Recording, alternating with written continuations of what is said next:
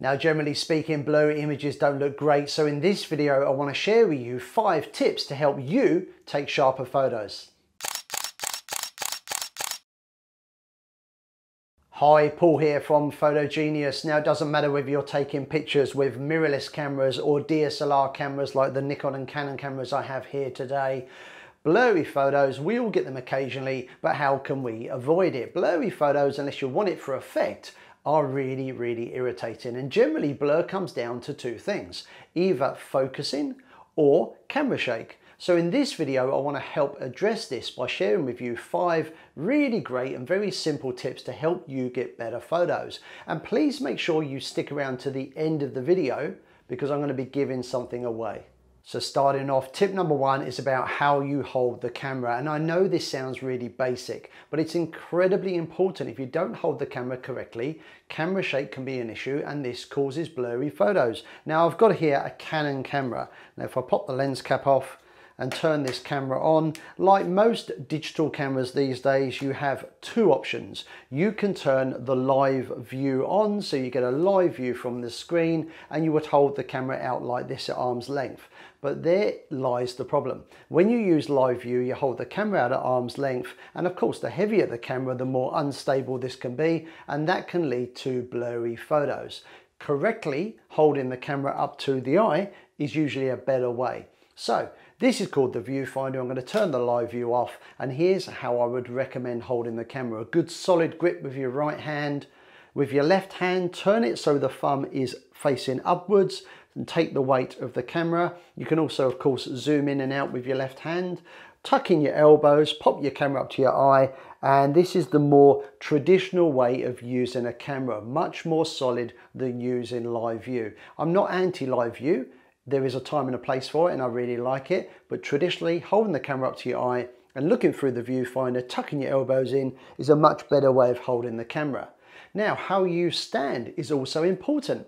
If I put my legs together, try it.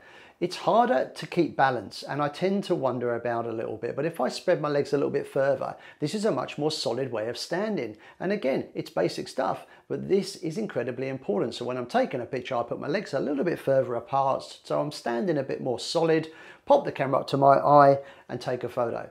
If there is a wall, tree or something I can lean on for extra stability, I usually do that as well. So my first tip was all about holding the camera correctly to avoid camera shake leading to blurry photos. Of course, the ultimate fix for camera shake is to use a tripod, and I've got one here. This is the Manfrotto Pixi Evo, a great little compact tripod. I'll talk more about tripods in a moment. Sometimes though, of course, you don't want to be tied down to a tripod, you want to use your camera handheld. So for tip two, my tip is use a shutter speed that is fast enough to counteract your hand movements. Now, what is a fast enough shutter speed? Well, if you're using a camera with a standard lens, generally speaking, a standard lens is around about 18 millimeters to 55 millimeters. I'm using one now on this Canon camera. You want to aim for a minimum shutter speed of um, 1 over 60. So 60th of a second should work for the average person, or better still, if you want to play safe, 80th of a second. So that's 1 over 80. Any shutter speed that is faster than that will of course be a bonus because the shutter opens and closes much quicker, but you don't want to go lower. So again, to recap, if you've got a lens that is around about 50 millimeters or less, 60 or 80th of a second should be enough to get you out of trouble. Now, some of you will of course have bigger lenses. Maybe you like taking photos of wildlife or sports, things that you can't get closer to. I've got one here. This is a Nikon 70 to 200 millimeter telephoto lens. Um, I use it for a variety of things, taking photos of my lad playing soccer, for example. And this is a great lens. I can zoom in nice and close to him, but in doing that, the lens exaggerates my hand movements. So shake is even more of an issue with a bigger lens like this. So what do you do to counteract it? Well, here's where it gets a bit more complicated because there is a bit of maths involved. Now, Let's talk Olympus cameras first. If you've got an Olympus camera, what you do is you double the focal length and that number is your minimum shutter speed.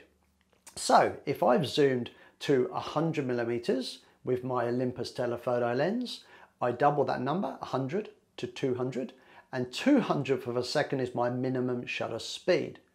Now, if I'm using the lens at its maximum, let's say 200 millimeters, 200, double it, 400, that's your minimum shutter speed. Remember, minimum. You can go faster, but you don't go below. So Olympus cameras, it's pretty easy to calculate. With the Nikon cameras, you um, do the maths is you take the focal length and you multiply by 1.5 or add half. So if I've got this on this Nikon camera here and I zoom to 100 mil, you take 100, you multiply by 1.5, which again is add half. 100 plus half is 150, that's the number to beat. Nearest shutter speed, 160th of a second. If I zoom to the maximum, 200 millimeters, I'm going to get more shake, so I need to increase the shutter speed. 200 add half is 300, that's the number to beat. Nearest shutter speed, 1 320th of a second. Again, go faster, but don't go below. Now, if you've got a Canon camera, it's much the same. The maths this time is the focal length multiplied by 1.6. So a 100 millimeter on a Canon DSLR camera, 100 times 1.6 is 160. So 160th of a second or higher. 200 millimeter lens on a Canon camera is 200 times 1.6, which is 320, 320th of a second or higher. Now this one is a bit more complicated, so I've added some notes in the description below the video to help you out. But this is a really important rule, and it does vary depending on the camera because camera manufacturers use different sensor sizes. If you are lucky enough to have a camera that is a full frame camera, then the maths is simple. It's one to one. So 100 mil, 100th of a second or higher. 200 mil, 200th of a second or higher. But most people watching this video will probably have cropped sensor cameras and this is where you need to do the maths. Double it for Olympus, times 1.5 for Nikon, times 1.6 for Canon, times 1.5 for Sony, and so on. Again, check the notes below the video for help on this one. Now, of course, the ultimate fix for camera shake is a tripod. And honestly, if you're getting into your photography, a tripod is a must-have bit of kit. You can buy yourself a full-size tripod, or you can start off with something nice and compact. This is the Manfrotto Pixi Evo mini tripod. I've said it before in my videos, I use this tripod almost every day. It never leaves my camera bag, and it's absolutely fantastic. Um, more details in the description below the video. A tripod is a must-have because it keeps the camera steady, allowing, to, allowing you to use pretty much whatever shutter speed you like. Now, a quick reminder to make sure you stick around to the end of the video because I'm going to be giving something away. Tip number three, image stabilization. If you've got a mirrorless camera, this is almost certainly a feature of the camera. If you've got a DSLR camera, this may be a function of the lens. And I say maybe because it's not a feature that is found in every lens. VR, Nikon, vibration reduction. Canon IS image stabilization. Sony steady shot and another name for this is optical image stabilization. Now it doesn't matter what the name is, what does it do? Well look, this is a clever function. It's designed to help eliminate and reduce any unwanted shake or vibration from ruining your photos and causing blur. And for that reason, I would generally turn this feature on.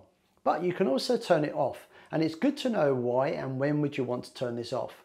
If you have your camera on a tripod, I would recommend turning this feature off. Now on some of our workshops and courses that we run here in Brisbane, we have seen a camera on a tripod with the stabilization turned on can lead to blurry, soft looking photos. But when you turn the stabilization off, you get a sharper photo.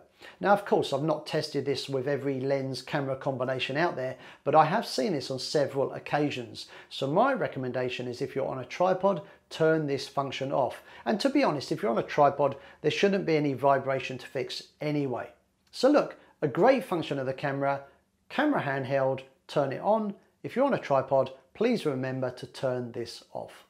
Okay, tip number four is all about aperture. Now aperture is a function of the lens and if you're not familiar with aperture, I've done a separate video all about it, might be worth checking out. I'll put a link up here, but if you don't see it up there, check out the description below the video.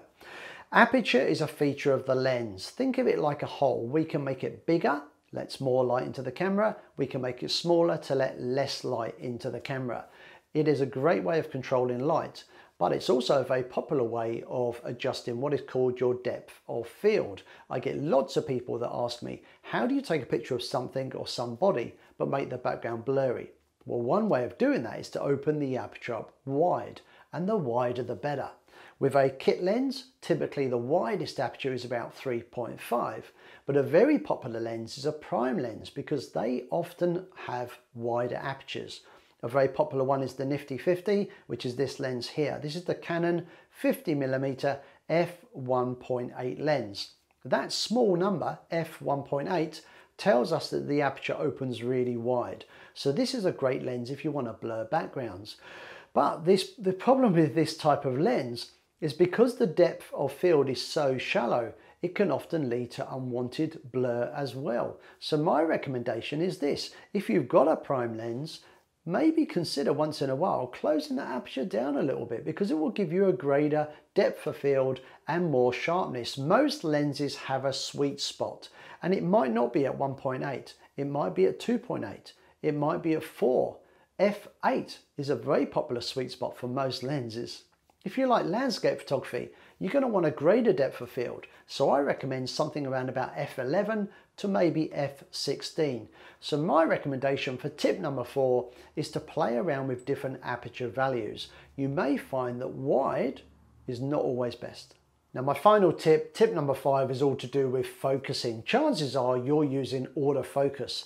This is a great function of the camera. I use it too. And I like it because the camera can focus quicker than I can. But when I'm taking a picture and after I've got my composition done, what I want to do is I want to tell the camera what I want it to focus on. And I do this by taking control of the focus points and moving the focus point to my subject. If you don't do this, when you press the shutter button halfway down, the camera will focus on what it thinks the subject is, and the camera will tend to prioritize things that are closer to the camera than further away.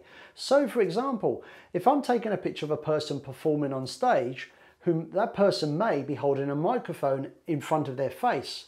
Now, the camera will focus on the hand and the microphone because it's closer to the camera, meaning I get a sharp photo of a hand holding a microphone, but the person's face behind may be slightly out of focus and blurry, which isn't what I want.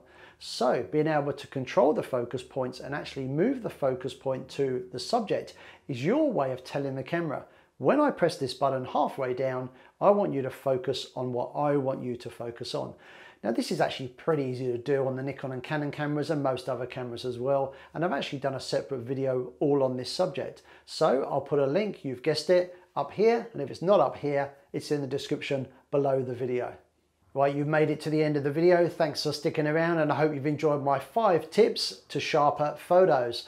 Giveaway time. Now I've talked about tripods and the importance of tripods in this video and what I want to do is I want to give you guys a chance to now win a tripod in a free to enter competition. And the tripod I'm going to give away is one of these. This is the Manfrotto Pixi Evo, a mini tripod that I absolutely love. If you are a regular viewer to this channel, you will see this tripod features quite heavily. And I'm not lying when I say I use this tripod pretty much every single day. Now today I've got the Fujifilm X100S on the tripod which is a small mirrorless camera and this tripod is perfect for a small camera like this but if you've got a larger DSLR camera then this tripod will adapt to it quite easily because you can extend the legs which makes it more stable and it can therefore hold a more heavyweight camera. You can move the camera around very, very easily. You've got pretty much every angle covered and you can also lower the legs if you want to maybe get closer to the ground or of course you want even more stability. So this tripod is absolutely awesome. And to win one of these, go to my website photogenius.com.au forward slash competition. The competition is free to enter. You'll find all the details on how to enter, closing date, etc. on the website. Please make sure you enter. It's really easy. All you've got to do is answer two simple questions. But for a bonus chance to win, I recommend following me on Instagram and making sure you subscribe to this channel. Anyway, good luck. If you've enjoyed this video, please give us a thumbs up, consider subscribing, and of course you can leave your comments, suggestions, or questions down below the video. I hope to see you again sometime soon. See ya. Bye.